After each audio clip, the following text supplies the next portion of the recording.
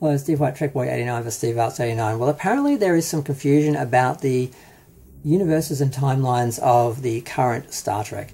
Now, I'm fairly clear about all this, but some other people seem to be a bit confused. Now, there are a few things that are in contention, like the copyright, uh, the different um, Star Trek productions, the movies, the new Trek TV series, the original TV series, in different universes with different copyrights, or are they all the same universe? There are people that claim they are, people that claim they aren't not necessarily getting into that debate at the moment. I mean, I firmly believe um, that um, the Prime Universe is a separate universe that was made for the Kelvin um, films, and that Discovery is in its own third universe that is basically just you know a rip-off of the Kelvin universe, um, but still separate from the original canon universe. But a lot of fans will, will argue, you know, till they're blue in the face that that's not the case. Um, now, so far as the timelines, that's a whole different argument. It's firmly established, regardless of if it's in the original canon universe or the prime universe, or if they're the same thing or different, that there is a new timeline that was created by the Kelvin in the Star Trek um, JJ movies. So there's no question there. That's why everything looks different. They had the freedom to do anything they wanted. That was a good idea. It worked. I watched those films like 20 times each in the cinema, no joke.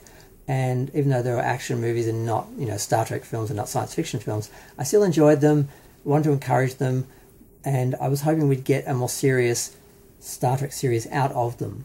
Um, so there's that. Now, so far as um, Discovery, Discovery didn't make any sense from the beginning, from the first shot of the Klingons, which we were lied to. We were, we were told they were a different sect of ancient Klingons that had been separate for for tens of generations or something, and that's why they were different from the other Klingons. And then as we watched the show, being lied to and lulled into a false sense of security, we actually saw that they were actually that's what Klingons are supposed to look like and have always looked like. And apparently, we were just mistaken when we watched Star Trek, the original series, Next Generation, DS9, Voyager, Enterprise. Those Klingons, they, they, were, they would never look like that. They look like this, and being gaslit and that was just insulting. Um, and um, like I said, Discovery's always looked different and been clearly in a different universe. Now, in the second I think the second season, um, they had the Red Angel, who was Burnham's mother in a time suit, a magic Iron Man time suit, that basically she was going back in time over and over again to try and change history. So that could explain a multitude of different timelines that Discovery could be set in because of all the time incursions. So I just was like, you know what, they're in a different universe, but even if they don't want to acknowledge that, they're clearly in a different timeline, which would sort of create the same sort of reality of it being totally different universe timeline. Either way, they're different, so it's okay. If they don't want to admit it's a different universe because they want to sell it as all the same Star Trek universe and not a multiverse at this point because the multiverses have not been well received in Marvel and stuff like that, fine. The timeline explains it. I'm willing to compromise and say, okay, different timeline, um, and accept that because it explains everything anyway.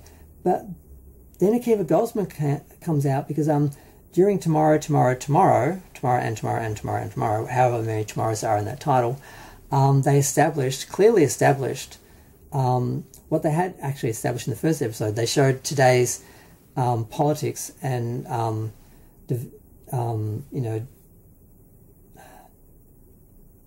division or whatever that we've got in today's culture as leading into the um, the Third World War and the eugenics wars, and that that didn't happen till later because um, when they wrote the original Star Trek, they set it 30 years in the future, and that seemed a long way away in the 90s. They weren't expecting Star Trek to be in production.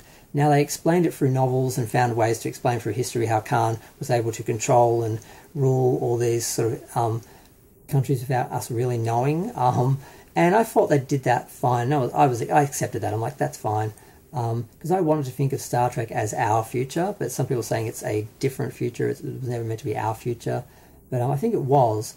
And during the original series, they took a diversion from that, and I always felt like that could have been explained through just um, propaganda on the government side, sort of hiding something that happened.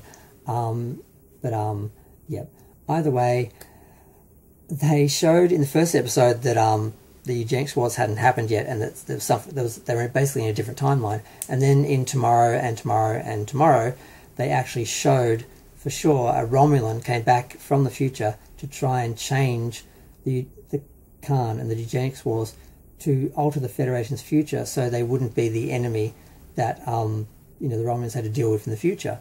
So this clearly established at least one alternate timeline that Discovery Discovery era show was in, um, because it was well before Discovery, hundreds of years before Discovery. So everything in Discovery and Strange New Worlds and Picard, I believe, was in the same alternate timeline, and that all made sense. But yet some people are denying this.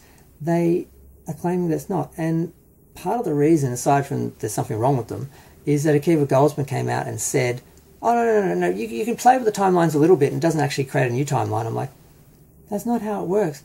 And moving a war 50 years into the future that decimated the whole planet is not a little thing. So there's no way that Discovery and New Worlds are not happening in a new timeline. And like I said, that's a fine enough compromise to explain all the differences without acknowledging that it's actually a different universe and that it's set in a multiverse.